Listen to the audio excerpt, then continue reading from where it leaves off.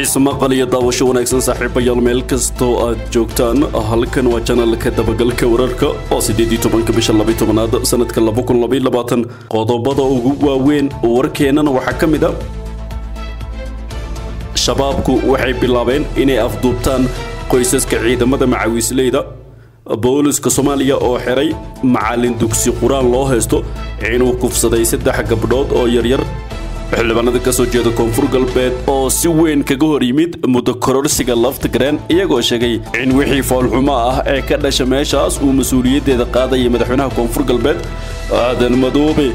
oo shaaciyey xilliga uu qabsoomayo. Shirkadda heshiisiinta koonfur galbeed shabakadii ugu weyneed ee shabaab ee muqdisho dhibaatada ka geysan jirtay oo xukunno adag lagu riday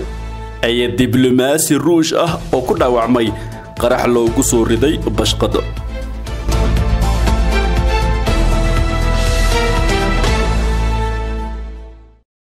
intaasi saaxiibayaal waxay ahaayeen qodobada ugu doorkaroon warka janalka dabagalka wararka. Haddii aad ku cusubtahay janalkan ku soo biro subscribesar muuqaalka laagsar sheergare oo la wadag saaxiibada. Aad ku maasan tahay inaad ka mid tahay saaxiibada dhowey janalkan haatanna warkiioo fidsan al-shabaab ayaa bilowday afduubashada qoysaska ciidamada macawisleyda sarreeye guuta cabdulaahi cali caanood oo ah afhayeenka ciidamada militariga soomaaliya ayaa sheegay in kooxda shabaab ay bilowday afduubashada qoysaska ciidanka macawisley ee qaybta ka ah gulufka ka dhanka kooxdaasi. Sababtay kooxda tallaabadaasi u qaaday uu ku sheegay inay ka caroodeen in qoysaska ay afduubteen carruurtooda ay hub ka qaateen howlgalka deegaano dhowra looga saaray shabaabna ay kaalin firfircoon ku lahaayeen waxay soo kaxaysteen qoysas badan sababtoo ah waxay ku eedeeyeen inay wiilashooda u fasaxeen inay ku biiraan macawiisleyda waxaanay sheegeen in wiilashooda ay hubka u qaateen al-shabaab. Sidaas waxaa yidhi sarreeyo guuto cabdulaahi cali caanood dowladda soomaaliya ayaa horey u sheegtay inay al-shabaab kala wareegeen ku dhowaad toddobaatan deegaan. Magaaladii ugu dambeysay ee istaraatiiji ah ee lagala wareego shabaab waxay ahayd aadan yabaal oo ka tirsan gobolka shabeellaha dhexe geesta kalena booliska ayaa soo xiray. Macalin dugsi qur'aan loo haysto falal naxdin leh. Taliska ciidanka booliska soomaaliya ayaa shaaciyey in ciidamada ammaanka ay soo xireen macalin dugsi qur'aan lagu eedeeyey inuu kufsi u geystay saddex gabdhood oo yaryar. Gabdhaha loo haysto macalinka dugsi qur'aanka inuu kula kacay kufsiga ayaa laba ka mida da-doodu waxay ka yartahay toban sano taliya ku-xigeenka ciidanka booliska soomaaliya jenaraal sakiya xuseen ayaa qoraal ay soo saartay waxay ku sheegtay in macalinka uu ku xiran yahay saldhigga magaalada dhuusamareeb taliska booliska galmudug gaar ahaan saldhigga degmada dhuusamareeb ayaa ku guulaystay soo qabashada eedeysane shucayb cabdi maxamuud oo labaatan iyo toddoba sano jira kaasoo ah macalin dugsi qur'aan oo saddex gabdhood oo laba ka mid ay yihiin sagaal jir midna ay tahay toddoba jir kufsi u geystay ayay tiri jenaraal sakiya. Waxay sii raacisay qoraalkeeda waxaan u mahad celinayaa bulshada sidii hufan nagala shaqeeyey soo qabashada eedeysanaha bulsho iyo boolis iskaashado waxay ka hortagi karaan balo walba ay hadalkeeda ku soo gabagabaysay taliya ku-xigeenka ciidanka booliska soomaaliya jenaraal sakiya xuseen. Dhacdadan kufsiga ee lagu eedeeyey macalinka dugsi qur'aan ayaa noqotay mid bulshadu ay aad kaga argagaxeen waxaana hadallahayn badan ay ka dhalisay galmudug gaar ahaan magaalada dhuusamareeb docda kalena xildhibaanada ka soo jeeda koonfur galbeed ayaa ka digay cawaaqibka muddo kororsiga laftigareen qaar ka mid a xildhibaanada baarlamaanka federaalk soomaaliya ee laga soo doortay deegaanada maamulka koonfur galbeed ayaa walaaca ka muujiyey muddo kordhin loo sameeyo madaxweynaha maamulkaas cabdicasiis xasan maxamed laftigareen oo muddo xileedkiisu ay ka harsan tahay maalmo kooban xildhibaanada maamulka koonfur galbeed ayaa sanado ka hor muddo kordhin u sameeyey madaxweynaha koonfur galbeed si laysku waafajiyo oo doorashooyinka baarlamaaniga ah iyo midda madaxweynaha hase yeeshee xildhibaanada qaarkood ayaa ku doodaya in arrintaasi aysan sharciga waafaqsanayn. Xildhibaan saadiq cabdulaahi cabdi oo ka mid a xildhibaanada doonaya in la qabto doorashada madaxweynaha ayaa sheegay in war-saxaafadeedka ay soo saareen uu xambaarsan yahay walaaca siyaasadeed iyo midka doorasho ee maamulka koonfur galbeed waxa uu ku baaqay in doorashada xilligeeda lagu qabto islamarkaana aysan raalli ka ahayn wax muddo kororsiya dhanka kale aadan madoobe waxa uu shaaciyey xilliga uu qabsoomayo shirka dib heshiisiinta koonfur galbeed. Wadatashiyadii shirka dib heshiisiinta koonfur galbeed uu ku baaqay gudoomiyaha golaha shacabka sheekh qadir maxamed nuur madoobe oo maalmahan ka socday magaalooyinka xudur iyo baydhabo ayaa la soo gabagabeeyey gudoomiyaha golaha shacabka ayaa soo saaray baaqa shir dib heshiisiina sagaaliyo tobankii bishiina dhaaftay ee nofembar markii uu arkay xaaladaha adag uu marayo dalka gaar ahaan koonfur galbeed waxaanuu soo jeediyey in la qabto shir dib heshiisiina laguna qabto magaalada baydhabo sidoo kale waxaa soo dhoweeyey madaxweynaha koonfur galbeed iyo siyaasiyiinta ka soo jeeda deegaanadaasi. Labiyo tobankii bishan wafdi uu hogaaminayo gudoomiyaha golaha shacabka oo ka kooban xildhibaano dowladda federaalk ka mida oo deegaan doorashadoodu ay tahay koonfur galbeed iyo aqoon-yahano ayaa gaaray magaalada xudur ee xarunta gobolka bokool si ay kaga bilaabaan halkaas geediga wadatashiga shirka dib heshiisiinta. Ugu horeyn gudoomiyaha iyo wafdigiisu waxay la kulmeen maamulka heer gobol iyo heer degmo odayaasha dhaqanka ah iyo ururada bulshada qaybahooda kala duwan waxaanay aada u soo dhoweeyeen dadaalada gudoomiyaha ugu jiro qabashada shirweynaha dib heshiisiinta oo ka dhici doona magaalada baydhabo afar iyo tobankii bishan disembar gudoomiyaha iyo wafdigiisa waxay soo gaareen magaalada baydhabo ee xarunta kumeel gaarka ah ee dowlad goboleedka koonfur galbeed oo ah halka loogu madalsan yahay in lagu qabto shirka dib heshiisiinta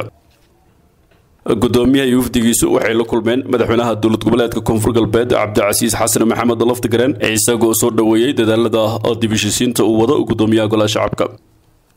intii uu ku sugnaa gudoomiyuhu magaalada baydhabo waxa uu la kulmay odayaasha dhaqanka qeybaha kala duwan ee ururada bulshada iyo laamaha ammaanka qaybahooda kala duwan. Sidoo kale odayaasha dhaqanka ayaa soo dhoweeyey qabashada shirweynaha dib heshiisiinta waxaanay ku baaqeen in sidii ugu dhaqsiyaha badan loo qabto shirka. Gunaanadkii kulamadii uu la yeeshay gudoomiyaha golaha shacabka madaxweynaha koonfur galbeed iyo dhammaan qeybaha kala duwan ee bulshadu waxay isla qaateen qodobadan soo socda kow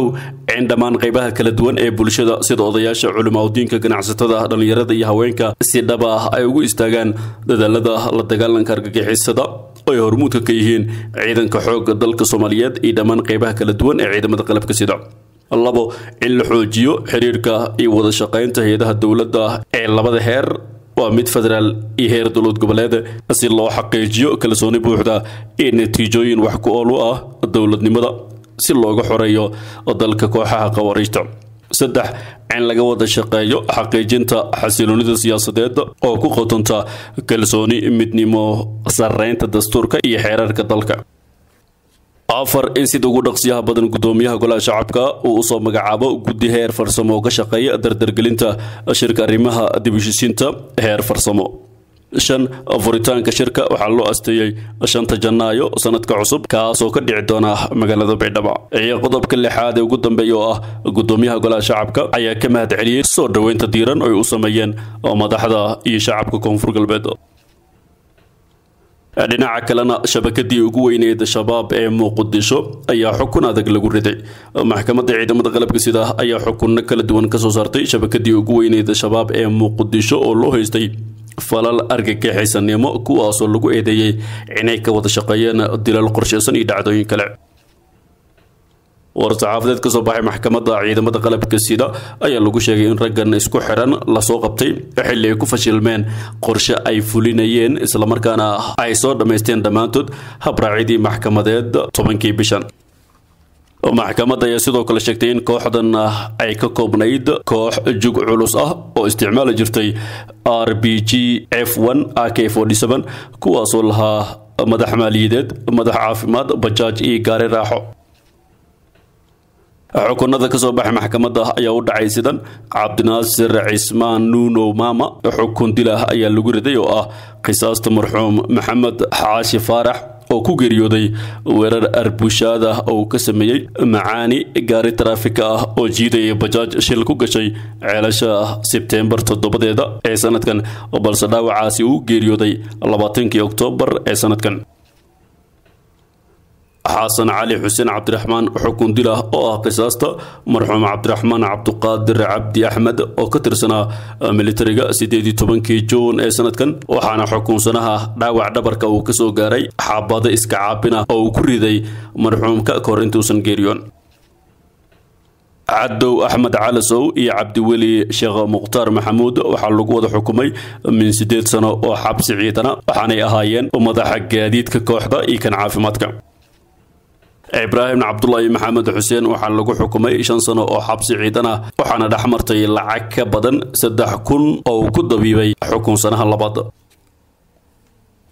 Cabdulaahi sheekh maxamed hilowle waxaa lagu xukumay saddex sano oo xabsi ciidan ah waxaanuu ahaa furahayaha guryaha qarsoon ee kooxda iyo martigeliyaha maleeshiyaadka ka soo dhaawacma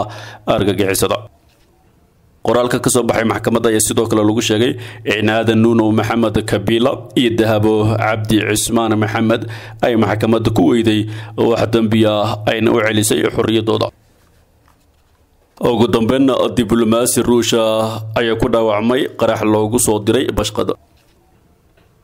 Diblomaasi u dhashay ruushka ay ku qaraxday bashqad uu u malaynayay in madaxa wiilkiisa loogu soo riday. Sarkaalkaas oo ka tirsan diblomaasiyiinta ruushiya ee ku sugan dalka afrikada dhexe ayaa lagu dhaawacay oo baqshad loo soo geliyey qaraxa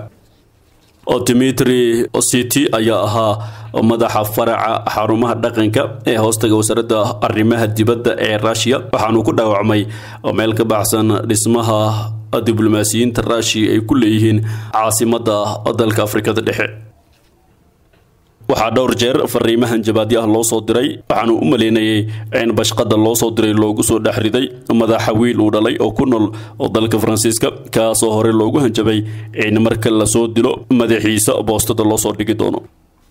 Bishii hore ee nofembar ayuu horey u helay bashqada laga soo diray dalka toogo oo uu ku jiray sawirka wiilkiisa loogu hanjabay in la dili doono haddii aysan ciidanka calooshood u shaqaystayaasha ah shirkadda wagner ee ruushiya ka bixin dalka afrikada dhexe.